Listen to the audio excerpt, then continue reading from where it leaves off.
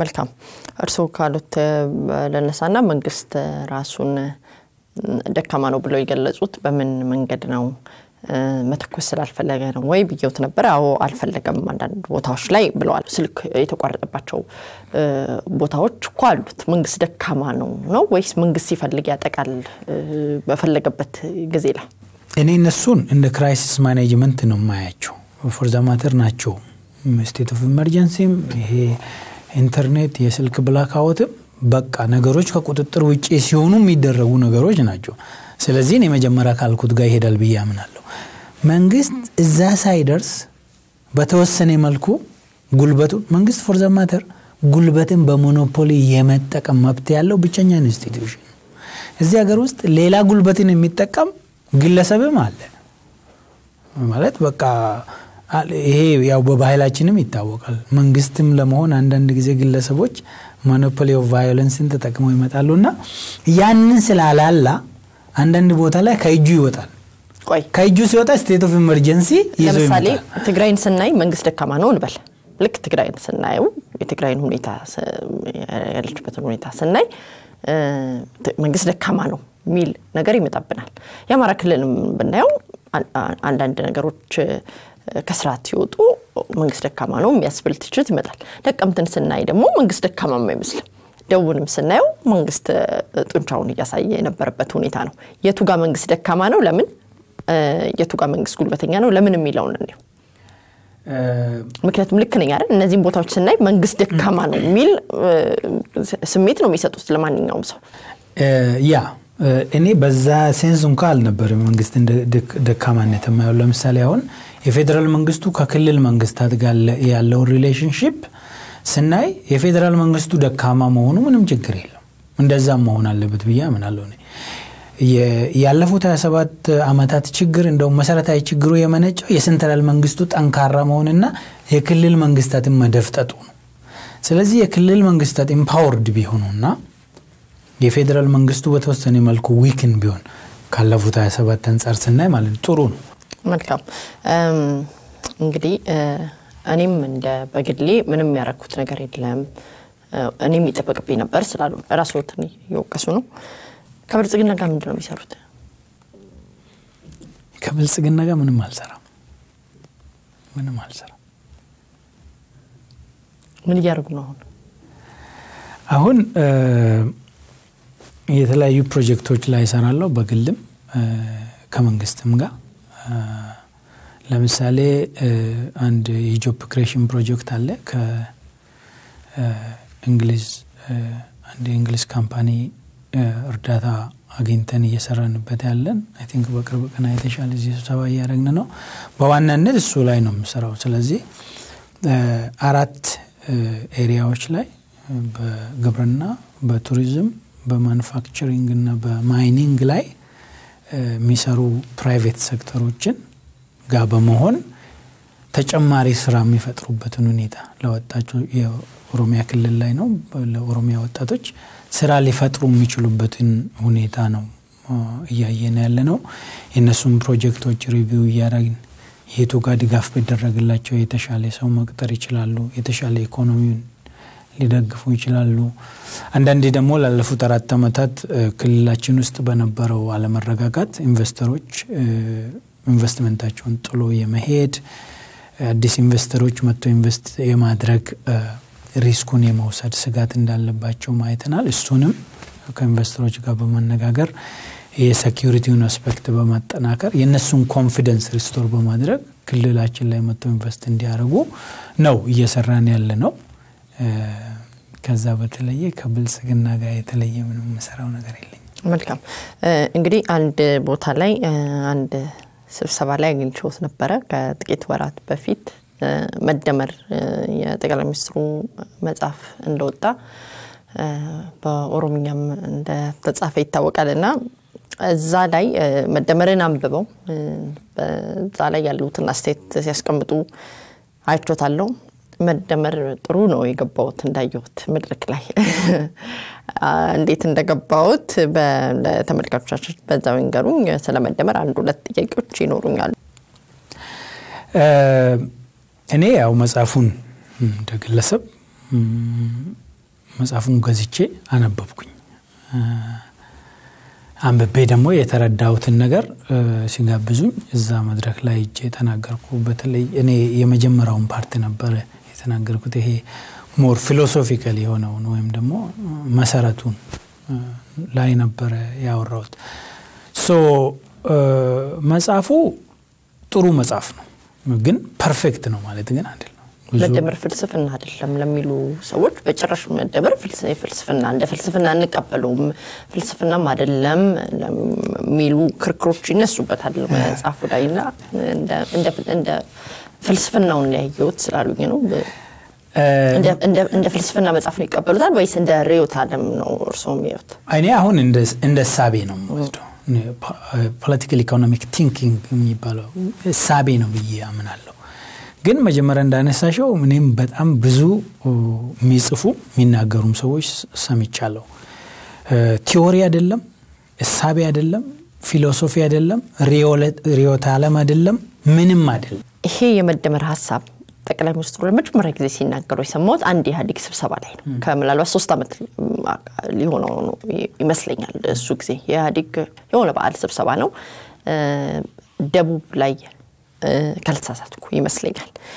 እሳቸው ሲናገሩ በጣም ከዛ በኋላ በጣም ገናና የሆነ ንግግር እንደነበረ ትዝ ይለኛል። ያለን አማራጭ ሁለት ነው አሉ። አንደኛው ተያይዞ ማለቅ ነው፣ መጠፋፋት ነው። አንደኛው ደግሞ ተደምረን አንድ ሆነን መዳን ነው የሚል ስለዚህ መደመር የሚለው ከዛ ከተነሳ ምክንያቱም ንግግራቸው ከዛ ነው የተነሳው። ከዛ በኋላ በጣም ተወዳጅ ንግግር ሆነ። በዓለ ሲመታቸው ላይ በፓርላማ እንደገና መደመርን ደገሙት። ከዛ በኋላ በጣም የሚታወቅና የተለመደ ቃል ሆነ ወደ መጽሐፍ ደረሰ። መጽሐፍ ከመድረሱ በፊት ግን ጠቅላይ ሚኒስትር እኮ ሲናገሩ የነበሩት ንግግር እኮ ከምናልቅ ከሳቸው የመጀመሪያ ንግግር የሰማሁት ቀድሞ ተናግረውት ሊሆን ይችላል ከምናልቅ ከሁለቱ አማራጭ መደመር ይሻለናል የሚለው ንግግር ላይ ነው። ስለዚህ ከዛ እንነሳ አይደለ? እሺ፣ እኔ በሳቸው በዛ የሚያዋጣን መደመር ብቻ ነው የሚለውን ነገር ብሎ እንደውም ዘፈን ሁሉ ተዘፍኖበታል መሰለኝ። እንደውም ከዛ ጋር ተያይዞ የኢህአዴግ ጽህፈት ቤት ነው። ፌስቡክ ይመስለኛል። ስህተት ሰርቶ ነበር።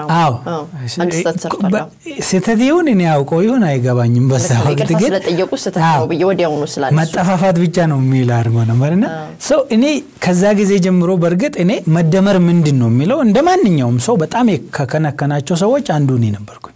ይሄ ነገር በጣም ትክክለኛ ትርጉሙ ምን እንደሆነ ለህዝቡ ካልተነገረ ሰዎች ትርጉሙን ሳያውቁ በጣም over ከመጠቀም የተነሳ buzzword ይሆናል። buzzword ማለት ሁሉም ሰው የሚጠቀመው ግን ትርጉሙን የማያውቅ term ሆነዋል። almost መደመር ስለዚህ I think June 2018 ይመስለኛል ሁለት ወር ጠቅላይ ሚኒስትሩ ወደ ስልጣን ከመጡ በኋላ መደመር ምን ሊሆን ይችላል የሚል አጭር ጽሁፍ ጽፌ ነበረ። በአንድ side ያው የኛ political discourse ሁለት ጽንፍ ይዛል። great political divide ኡ በዛ side ያለ እና አንዱ ወገን ምንድን ነው መደመር ማለት ይሄ በብሔር በሃይማኖት በምናምን ያለውን ልዩነት አጥፍተን በቃ አንድ ወጥ ኢትዮጵያ እንሆናለን የሚለው አይነት narrative ይሄ የተለመደው narrative ተመልሶ በሱ ሲመጣ ስላየው መደመር ማለት necessarily እንደዛ ማለት አይደለም። synergy ነው። I think synergy እንደ pillar ተደርጎ መጽሐፍ ውስጥ ተቀምጦ ነበር። where እኔም አንዳንድ disagree የማደርግበት ለምሳሌ አንዱ እሱ ነው። synergy የመደመር pillar አይደለም፣ it's equivalent term ነው ብዬ ነበር ማምነው። but last time ኦስሎ ላይ ሽልማታቸውን ሲቀበሉ መደመር signify synergy ብለዋል። synergy ማለት ምን ማለት ነው? አብሮ መስራት ነው። አብሮ መስራት ነው። እኔና አንቺ ተስማማንም ተግባባንም cooperate አረግንም compete አረግንም የጋራ የሆነ ነገር ላይ ግን የጋራ የሆነ ነገር ላይ ግን አብረን መስራት መቻል ማለት ነው። እና የመጽሐፉ እሳቤ ውስጥ ያየሁት ምንድን ነው በታሪካችንን ያሉንን ጥሩ ጥሩ ነገሮች ጥሩ ጥሩ ነገሮች አሉን የሉንም የሚል ክርክርም አለ። እሱንም ለጊዜው እንተው። ካለን ማለት ነው። ከሌለን በዜሮ ታደርጊያለሽ ጥሩ ጥሩ ነገሮቻችንን ይዘን መጥፎ መጥፎውን ደግሞ እየለየን ከሱ ተምረን ወደፊት የተሻለ ሀገር እንዲኖረን አብረን እንስራ የቱ ነው ጥሩ? አይነት ነገር እዚያ ለምሳሌ የኔ መጥፎ ለዛኛው ሰው እኮ የሚታየው ያኛው ለብቻው ለሚኖር ሰው ወይ ደግሞ እኔ ነኝ ሀገር የሰራሁት ወይ እኔ ያልኩት ነው ልክ ለሚል ሰው የኔ ልክ እኮ መጥፎ እየሆነበት ነው። እዚህ ሀገር እኮ እርስዎ የማህበረሰብ ጥናት እንዳጠና ሰው ምንም አይነት እኮ ስምምነት የለም። በባንዲራ ስምምነት የሌለን ሰዎች፣ በቋንቋ ስምምነት የሌለን ሰዎች፣ በርስትና በክልል እንኳን ገና ያልተስማማን ሰዎች የዛኛው ሰው ጥሩ የኔን መጥፎ እያደረገ እኔን ሁሌ እየ- እየወቀሰኝ የአንቺ ነገር ሁሉ መጥፎ ነው የኔ ነው ልክ እያለን እንዴት አድርገን ነው የምናዋህደው ይህንን የምናስታርቀው? በጣም ጥሩ ጥያቄ ነው። በጣም valid ጥያቄ ነው እሱ። መደመር assume ያደርጋል እንጂ scientific አይደለም አይደለም። assumption ላይ የተገነባ አስተሳሰብ ነው። ደግሞ መጀመሪያ አንቺ እንዳልሽው በእጅጉ የጠቅላይ ሚኒስትሩ የግለሰብ አስተሳሰብ ነው። ስለዚህ could be completely wrong ሊሆን ይችላል። ምንም ጥያቄ የለውም። methodologically እንዴት ነው የሚለውን ጥያቄ ጠያሽ ብዙ ነገር ላይ በቃ አቃቅር ማውጣት ትችላለች። ለምሳሌ foreign policy ውም እንደዛ ጥሩ ጥሩውን ይዘን እንሄዳለን። አሁን ለምሳሌ ከአሜሪካ ጥሩውን ከቻይና ጥሩውን ይዞ መሄድ አይቻልም በ foreign policy። ምክንያቱም አሜሪካ ከእሷ ጋር እንድትሆኝ ቻይናን እንድትቃወሚ ልትፈልግ ትችላለች። እና እንደዛ እንደዛ አይነት ነገሮች አሉ technically speaking። ግን በኢትዮጵያ ታሪክ እይታ ግን ካየን መጀመሪያም ስታነሺ እንደነገርኩሽ የትልልቅ ስብራቶች ያሉባት ሀገር ነች። ስትቋቋም ጀምሮ በችግር ላይ ተቋቋመች ሀገር፣ ተቃርኖ የበዛባት ሀገር፣ የአንዱ ቡድን ጥሩ የሌላው ቡድን መጥፎ የሆነባት ሀገር ነች ኢትዮጵያ። ከዛ በተጨማሪ በጣም በቃ ኋላ ቀር የፖለቲካ ባህል ነው ያለን እኛ። still ይሄ አሁን አልጋ ወራሽ ምናምን ተገዳድሎ ስልጣን መያዝ still እኮ valid culture ነው እና በጣም የሚያሳምም የፖለቲካ ባህል ነው ያለን። ከዛ በተለየ ደግሞ ያለፉትን 27 ደግሞ ስናይ ሁሉም almost ሁሉም አኩራፊ የሆነበት የኩርፊያ ፖለቲካ የተጸናወተው ሀገር ነው እና እዚህ አገር ውስጥ ሆነሽ ጥሩ ጥሩ መርጬ ደምሬ መጥፎ መጥፎውን ነገር ከሱ ተምሬ ወደፊት እንሄዳለን ብሎ dare ማድረግ by itself by the way strength ነው ለእኔ ትልቅ ጥንካሬ ነው። በቃ በጣም ወኔ ይጠይቃል እንደዛ ማሰብ። ምክንያቱም frustrate ያደርጋል። አንቺ እንዳልሽው ምንም የጋራ ነገር የለንም። ለምንድን ነው የጋራ ነገር የሌለን? የኢትዮጵያ territorial expansion ኑን በጉልበት የ central ኡ መንግስት ጨርሶ ከዛ አድዋም ተሸነፉ፣ አድዋ ነጮቹም ተሸነፉ። በቃ እንትን ሆነ፣ fame መጣ። ውስጣዊውን የማህበራዊ መግባባት ይሄ የአጥንት የተሰበረውን የደማውን የማስታረቁ ስራ አልተሰራም። ከዛ ቀጥሎ የመጡት መሪዎች በሙሉ ዊት ሴም ፋሽን ማለት ነው። ኃይለስላሴን ብትወስጂ፣ ደርግን ብትወስጂ፣ የኢህአዴግን መንግስት ብትወስጂ ማህበራዊ መግባባት መገንባት ላይ ምንም ስራ ያልተሰራበት ሀገር ነው ኢትዮጵያ ማለት። ስለዚህ የማህበራዊ መግባባት በሌለበት ሀገር ጥሩ ጥሩ የጋራ የሚባል ነገር ማሰብ ከባድ ነው። ግን በመደመር እሳቤ ያንን መስራት ይቻላል ወይስ አይቻልም ብለሽ ግን ከጠየቅሽ ይቻላል? ይቻላል። የኢትዮጵያ ህዝብ ህዝቡ ማለት ነው አልተጣላም። አንድ ላይ የጋራ እሴት እንዲገነባ አብሮ የጋራ ቫሊዩ እንዲኖረው አልተሰራም እንጂ አልተጣሉም። ስለዚህ ያልተጣላን ህዝብ ባህሉን ከዚህም ያለውን ከዚህም ያለውን ጥሩ ጥሩ አምጥቶ መደመር ይቻላል። በጣም በቀላሉ ነገር ትንሹን ነገር እንየው። ለምሳሌ እኔ የአገር ባህል ልብስ በጣም እወዳለሁ፣ እለብሳለሁ በበዓሎች ላይ ያኔ ማንም ሰው አይናገረኝም። አብዛኛው ሰው የሚስማማበትን ሳረግ የተወለድኩበትን አካባቢ ልብስ ደግሞ የባህል ልብስ ሳረግ የዋት ዘረኛዋ እንዴት አድርጋ ልብሷ እንደለበሰች ይባላሉ። ለእኔ ጥሩ በጣም ጥሩ ያደግኩበት ነገር ለሌላው ሰው የሚስቅበት ከሆነ እና የሚበሽቅበት ከሆነ የቱ ነው? እንዴት አድርገን ነው የምንደመረው? መቼ እኔን ጥሩ ነገር እኔ በጣም የምወደውን ጥሩ ነገር መቼ ወደደልኝና ነው? አ- አዎ እሱ እነዛ መቀበል ሲችሉ ነው የምትደመሪው። እነዛ የሚጻረሩቱ እሱን እኮ መቀበል ሲችሉ ስለዚህ እስካልተቀበልን ድረስ አንድ ሰው የኔን ጥሩ ነገር የኔን ባህል እኔ ምን እኔ ጥሩ ነው ያልኩትን ነገር እሱ ደግሞ መጥፎ ይላል፣ በጣም ይጠለዋል። ስለዚህ ምንድን ነው መደመር? እንዴት አድርገን ተዋህደን እንዴት አድርገን አንድ ሀገር እንገነባለን ወይስ እንፈርሳለን? እንደ ሀገር እንደው ቁጭ ብናደርገው ይሻላል። እርስዎ ምክንያቱም ሙያዎት ስለሆነ ይህንን ረጅም ጊዜ ያጠኑበት ስለሆነ የሚመለከቱት ነገር ስለሆነ ነው እንጂ ያው ለጭቅጭቅ አይደለም። በእርግጥ የኢትዮጵያ አ፣ እጣ ፋንታ ብዙ አመት ብዙ ሰዎች ኢትዮጵያ at cross road ይላሉ። መስቀለኛ መንገድ ላይ ነች ይባላል። መስቀለኛ መንገድ ማለት ለመፍረስም ለመዳንም እኩል እድል አላት ማለት ነው። አሁንም እዛው መንገድ ላይ ነች by the way ወይ እንፈርሳለን ወይ እንድናለን የሚለው ነገር ማንም ሰው አይ ይሄኛው ያመዝናል ማለት የሚቻልበት state ላይ አይደለንም ግን ለምንድን ነው አንድ ቡድን የራሱን እንጂ የሌላውን መቀበል የማይችለው? ለምንድን ነው appreciate የማያደርገው difference ን? ኢትዮጵያ እንደ ሀገር ስትገነባ nation state ለማድረግ ነው የተፈለገው። ይሄ ልዩነቱን የባህል የቋንቋ ልዩነቱን ጨፍልቆ አንድ ወጥ ሀገር ለማድረግ ነው የተሞከረው አይደለ? ይሄ almost አንድ መቶ ዓመት ነው የተሞከረው፣ አልተሳካም። ብዙ ሀገርም እንዲሁ ተሞክሮ አልተሳካም። አልተሳካም ማለት ብዙ ብሔር ብሔረሰቦች ያሉባት ሀገር ማንነታቸውን የሚፈልጉባት ሀገር ሆነች ነች ማለት ነው። ስለዚህ ለኢትዮጵያ መዳኛዋ እንደ ሀገር ለመቀጠል እነዚህን የተለያዩ ባህሎችን recognize ማድረግ accept ማድረግ ነው፣ ግዴታ ነው። multinational nature ኡን accept ካረገች ማለት እኔ አንቺ የኔን የባህል ልብስ ስትለብሺ ብቻም ሳይሆን ያንቺን የባህል ልብስ ስትለብሺ accept ማድረግ መቻል አለብኝ ማለት ነው። for that matter accept ማድረግ ብቻም አይደለም፣ ኢምብሬስም ለማድረግ መልበስም አንዳንዴ ያስፈልጋል።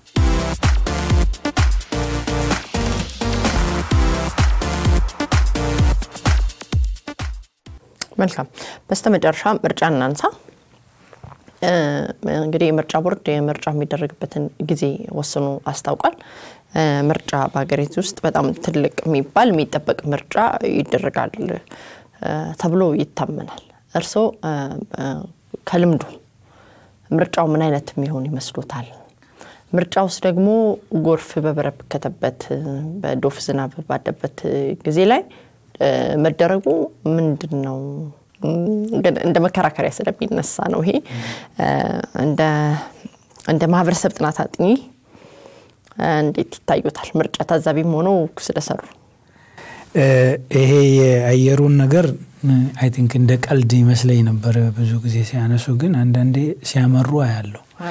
እ፣ ከዛም የሚቀዘቅዝ ነገር አለ። የኢትዮጵያ ፖለቲካ አሁን ያለበትን ሁኔታ ካየን ሰው ከወራው ከፈራው ውርጭ ምናምን ወንዙ ይሞላል ምናምን ይላል። ከዛ የባሰ ችግር ሊኖር ይችላል። ለምሳሌ የኢትዮጵያ ሁኔታ መኪና የማይገባባቸው ቦታዎች ላይ ምርጫ እንዴት ሊደረግ ነው? ኮሮጆ በምን መንገድ ሊንቀሳቀስ ነው? ወንዞች በሚሞሉበት ቦታ ላይ መቼም ሁሉም ቦታ አስፓልት አይደለም። የኢትዮጵያን ሁኔታ ስና በመላው ሀገሪቱ ነው ምርጫ የሚደረገው።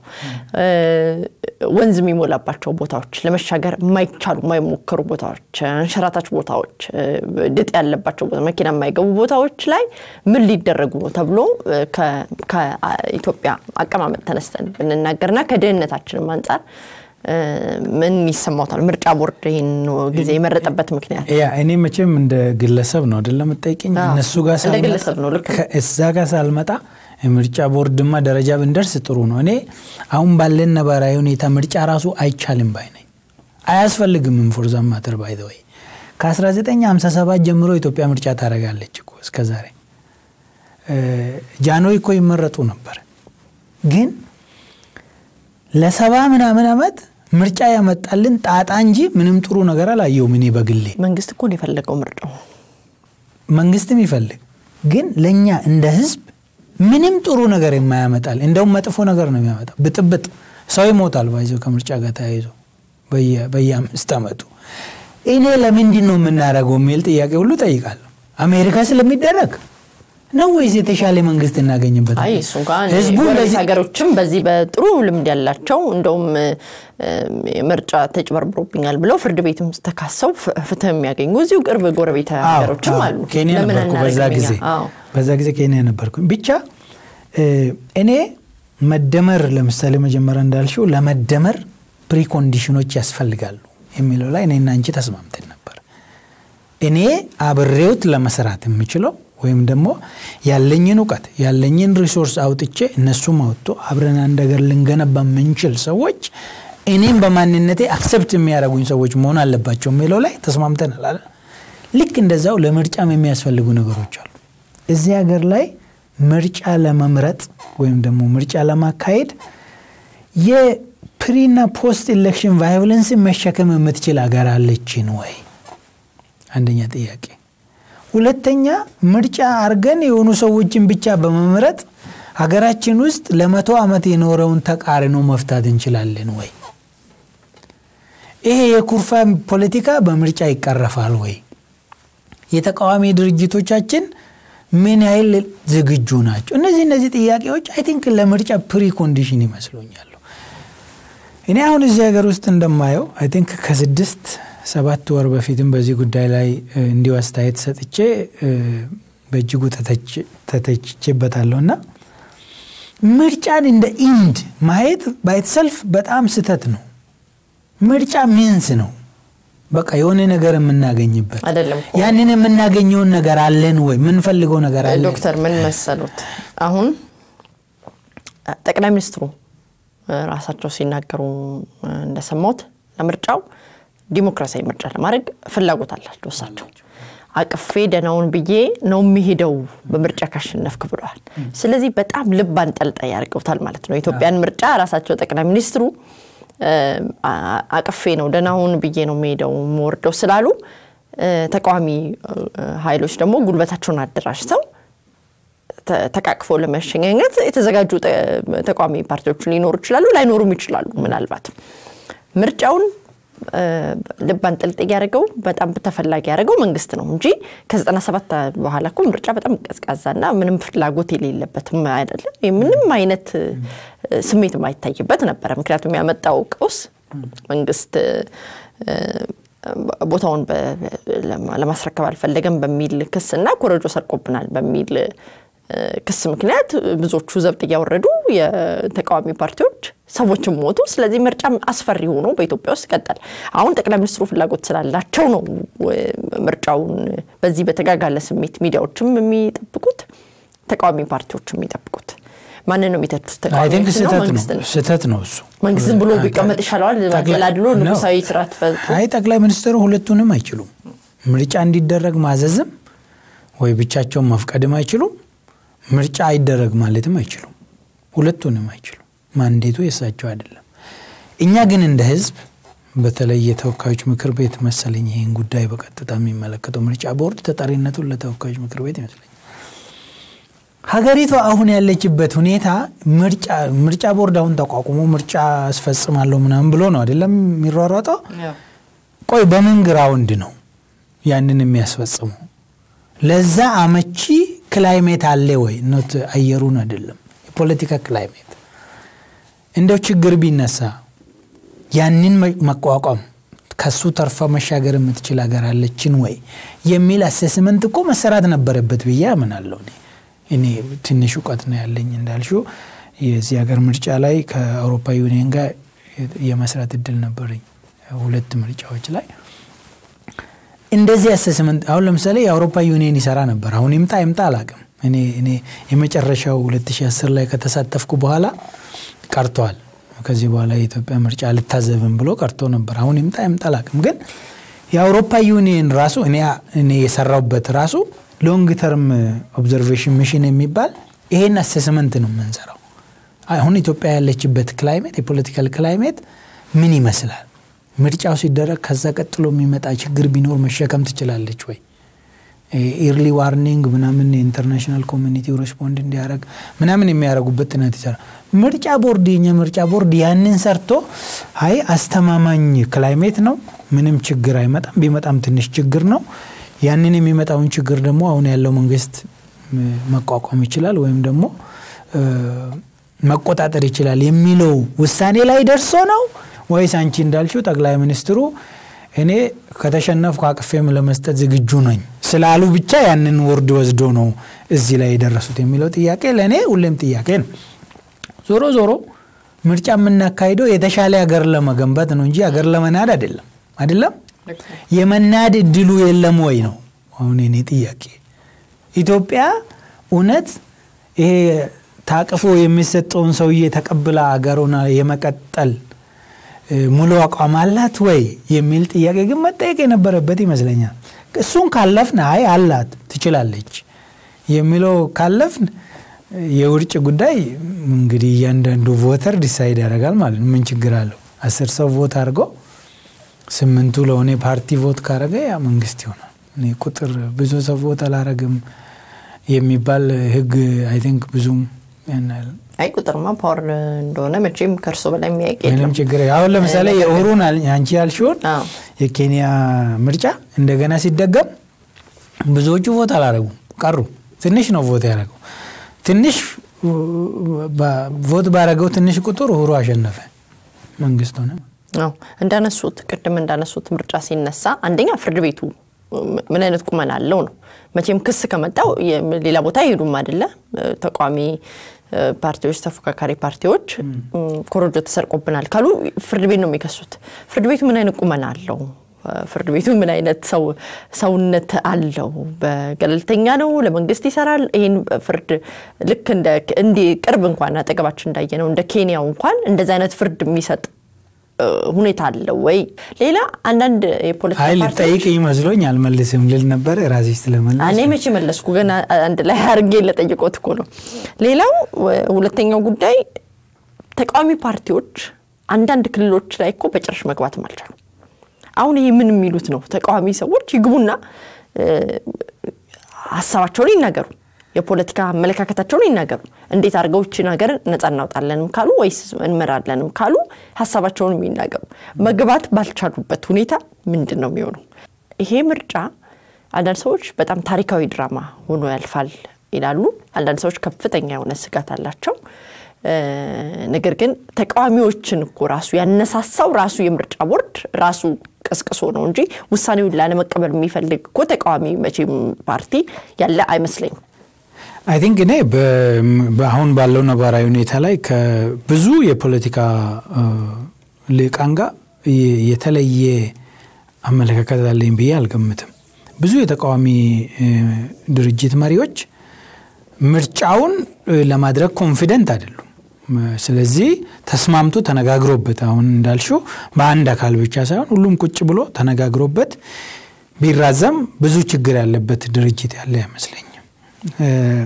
ከዛ ባለፈ ይሄ ፍርድ ቤት ጥያቄ ጠየቅሽኝ በጣም political ነው እሱ ለእኔ ምክንያቱም ስለ እነሱ መናገር ይከብዳል።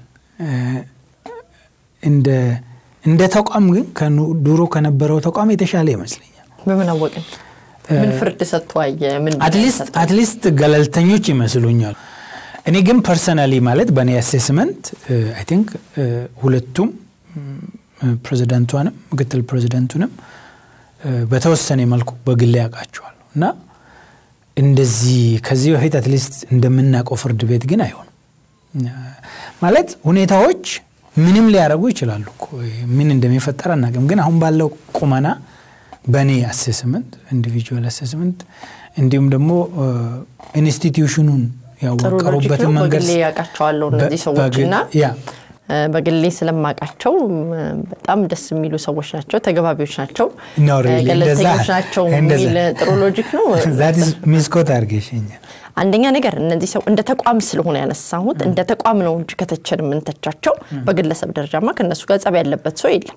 ሰዎቹ ወደ ስልጣን ሲመጡ እኮ ከዛ በፊት የሌላ ፍርድ ቤት ሄዶ ፈርዶ አይደለም ነሰሰላ አንዳንዴ የአካደሚክ ባክግራውንድ ሪካርዳቸው የሰሩበት ልምድ ምናምን ታይቶ ነው የሚመጡት እና እኔ አሁን ለምሳሌ ፕሬዚዳንቷን እዚህ ሀገር ውስጥ በጣም ጠንካራ ነገሮችን በመጋፈጥ ነው ማቃት እና እዚህ ደርሳ አቋሟን ላትቀይር ልትቀይር ትችል ይሆናል ግን እስካሁን ግን በእኔ reading እንደዚህ አይነት ነገር ቢመጣ shy የሚያደርጉ ግን አይመስልም። እንደዚህ አይነት ነገር ከመጣ ፍርድ ቤቱ ገለልተኛ ሆኖ ገለልተኛ የሆነ ፍርድ ለእውነቱ በመረጃ ለተደገፈው ፍርድ መስጠት አለበት ብዬ አምናለሁ።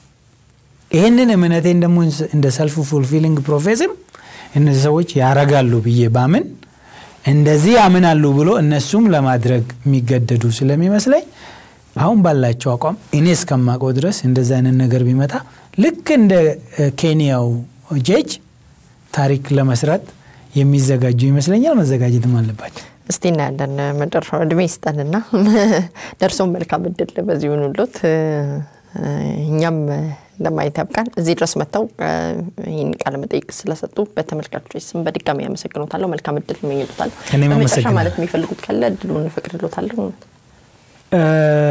በመጨረሻ ማለት የምፈልገው ብዙ ነገር ያው እዚህ መጀመሪያም እዚህም እዚያም እንደነካካ ነው ወደ መንግስት መግፋት ነገር አለ። አሁን ለምሳሌ ከምርጫው ጋር ተያይዞ በቃ ይሄ ነገር ስጋት የሚያመጣብን ከሆነ ማስቆም አለብን።